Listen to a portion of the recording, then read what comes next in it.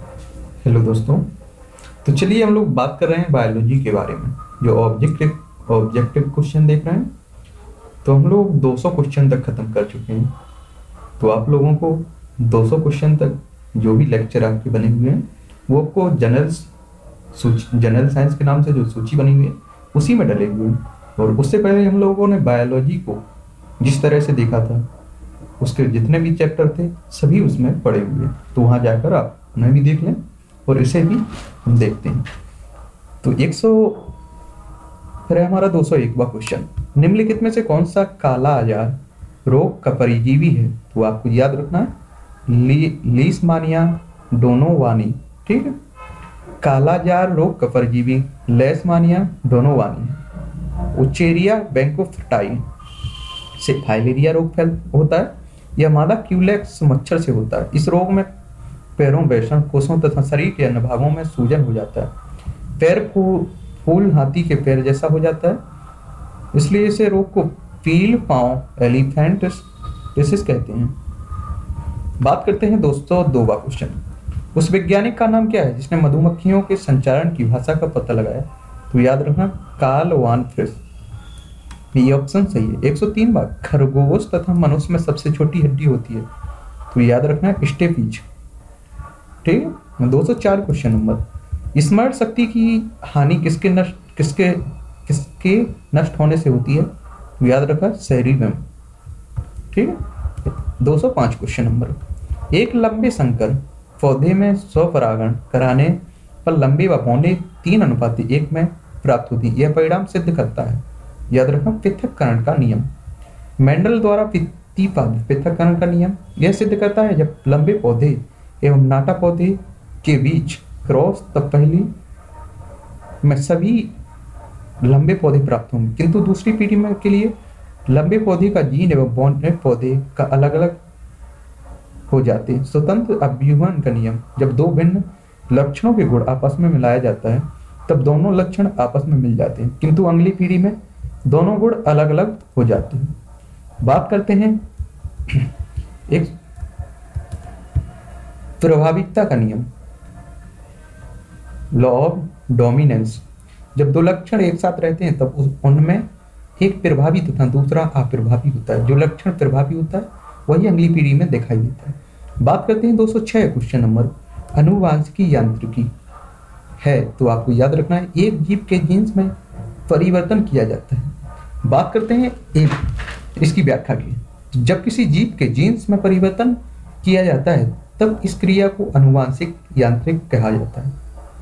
टेस्टिट्यूब baby यह male and female के tissue को ट्यूब में फ्रोज कराकर जाइगोट बनाया जाता है तथा इस जाइगोट को फीमेल ओवरी में रख दिया जाता है। इस क्रिया के द्वारा उत्पन्न बच्चे को टेस्टिट्यूब बेबी कहा जाता है। बात करते हैं एक क्वेश्चन की। जंपिंग जीन को अब कहा जाता है। याद रखें ट्रांसफोसन्स जंपिंग जोन्स को अब ट्रांसफोसन्स कहा जाता है। इसकी खोज वार, बार, बेरा, मी, क्लेंटक द्वारा किया गया था। 208 क्वेश्चन अनुवांशिक लक्षण जनक के संतान में किसके द्वारा होता है? तो याद रखना है आपको, जीन। 209 क्वेश्चन, जीव वैज्ञानिक पाँच जून का दिन किस रूप में मनाते हैं? तो याद रखना, विश्व वातावरण दिवस के रूप में। ठीक है? पाँच जून को विश्व पर्यावरण दिवस मनाया जाता है। बात करते हैं 210 बा क्वेश्चन जलीय वातावरण में सूक्ष्म जंतु और पादपों को सम्मिलित रूप से कहते हैं। तो याद रखना पिलवक जलीय वातावरण में सूक्ष्म जीव और पादपों को सम्मिलित रूप से पिलवक कहते हैं। किसी क्षेत्र विशेष में पाए जाने वाले पौधे को फ्लोरा कहा जाता है। किसी क्षेत्र विशेष में पाए जाने वाले जंतुओं को फोना कहा जाता है। बात करते हैं 211 मौन घाटी, जहाँ पादपों और जंतुओं की दुर्लभ जातियाँ कहाँ पर है ये? केरल में। ठीक है, बात करते हैं 212 क्वेश्चन भारत वर्ष की राष्ट्रीय पक्षु, राष्ट्रीय पुष्प पुष्प है याद रखिए कमल। भारत का राष्ट्रीय पुष्प कमल है, आपको पता होगा।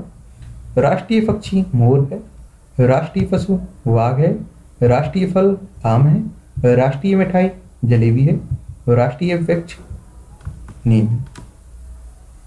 ठीक?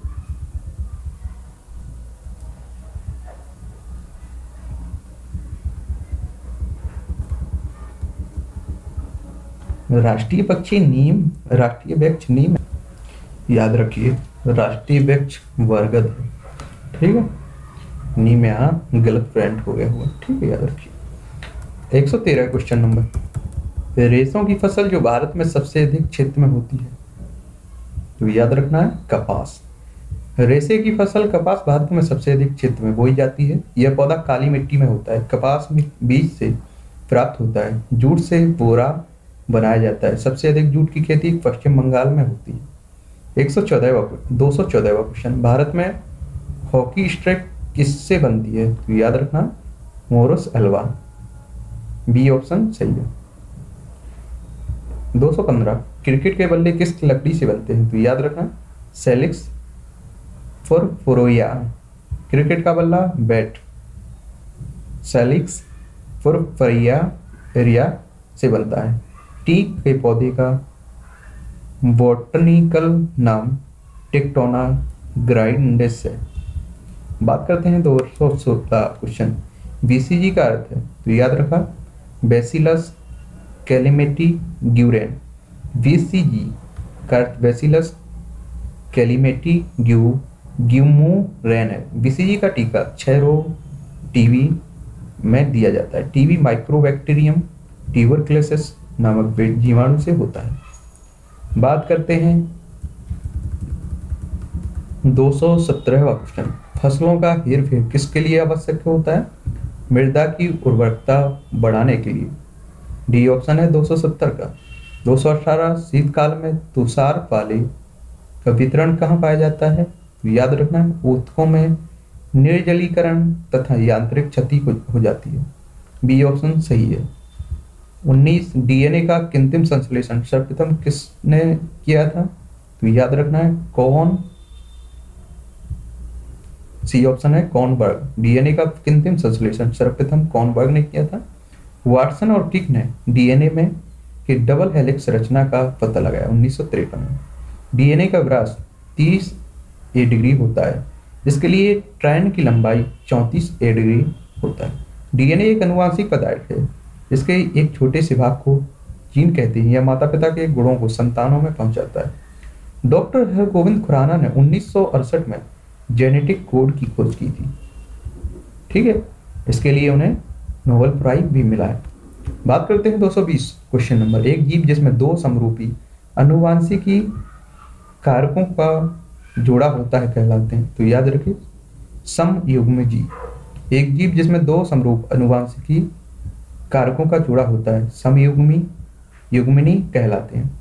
221 क्वेश्चन राइबोसोम्स किसके बने होते हैं? याद रखना, आरएनए प्लस प्रोटीन 222 क्वेश्चन निम्नलिखित में से सूत्र विभाजन की सबसे लंबी स्टेज कौन सी है?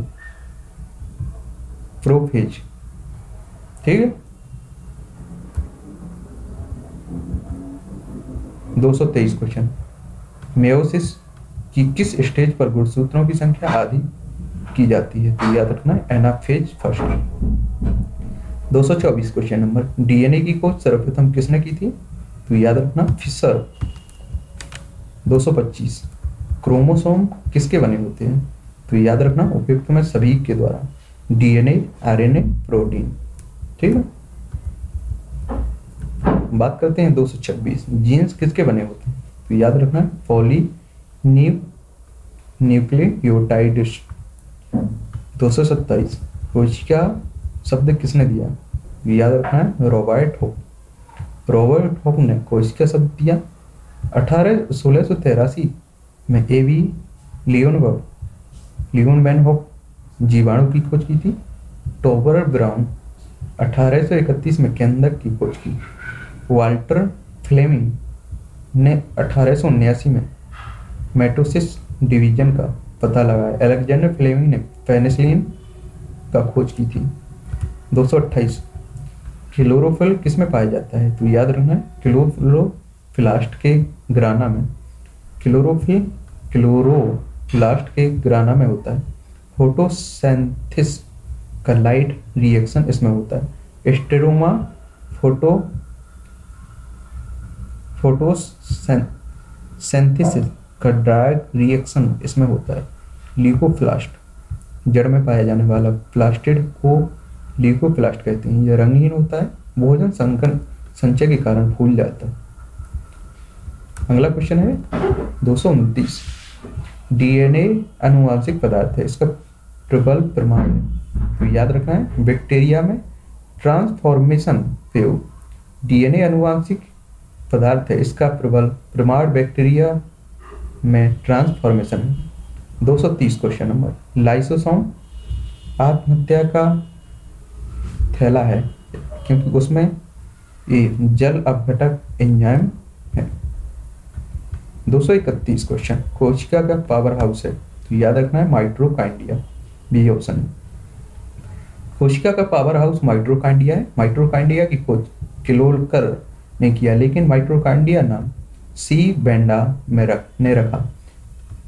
एटीपी को एडीपी में तथा एडीपी कोड एटीपी में परिवर्तित करता है।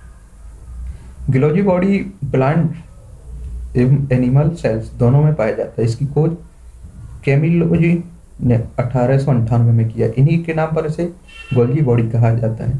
इससे सेल्स में पदार्थों का परिवहन होता है। इससे फिर न्यूक्लियोलस न्यूक्लियस के अंदर एक गोल आकृति होती है, जिसे न्यूक्लियस कहते हैं। यह आरएनए एवं प्रोटीन संश्लेषण में सहायक होता है। बात करते हैं 232 क्वेश्चन वायुमंडल में कार्बन डाइऑक्साइड की मात्रा लगभग है। याद रखना ज़ीरो दशमलव ज़ीरो तीन प्रतिशत। ठीक है? दो सौ तैंतीस। अंतिम रूप से जैविक ऊर्जा किसमें प्राप्त होती है? तो याद रखना ए टी पी दो सौ चौंतीस क्वेश्चन खाद्य श्रृंखला बनी होती है। खाद्य श्रृंखला बनी होती है। तो याद रखना उत्पादक एवं उपभोक्ताओं की। खाद्य श्रृंखला उत्पादक एवं उपभोक्ता से बनी होती है। उत्पादक वैसे जीव जो अपना भोजन स्वयं बनाते हैं, जैसे विकास संश्लेषण क्रिया होती है, उत्पादक जैसे पेड़ पौधे उपभोक्ता, वैसे जीव जो अपना भोजन स्वयं नहीं बनाते हैं, ये जीव दूसरे जीवों से अपना भोजन प्राप्त करते हैं, जैसे हिरण वक्री सियार, वाघ इत्यादि अवघटक मृत उत्पादक एवं उपभोक्ता को सरल पदार्थों में अवघटित करने वाले जीव को अवघटित या मित्रोप जीवी कहते हैं, जीवाणु, विषाणु, कवक इत्यादि। 235 क्वेश्चन किसी निश्चित क्षेत्र, जैसे तालाब आदि में, पौधों व जंतियों के बीच पारस्परिक संबंध को कहा जाता है। तो याद रखना, पारिस्थितिकी तंत्र. किसी निश्चित क्षेत्र, जैसे तालाब आदि में, पौधे एवं जंतुओं के बीच पारस्परिक संबंधों को पारस्परिक, पारिस्थितिकी तंत्र कहा जाता है। छत्तीस, दो सौ छत्तीस क्वेश्चन क्रॉप रोटेशन से लाभ होता है। भूमि में उर्वरकता में बढ़ोतरी। दो सौ सैंतीस क्वेश्चन नंबर। सुई की, सूर्य की रोशनी से अल्ट्रा वायलेट किरणें निकलती हैं जो उत्पादित करती हैं। तो याद रखना, ओजोन। अड़तीस। अम्ल वर्षा का प्रमुख कारण है। तो याद रखना, वायु प्रदूषण द्वारा SO2 की मात्रा में वृद्धि।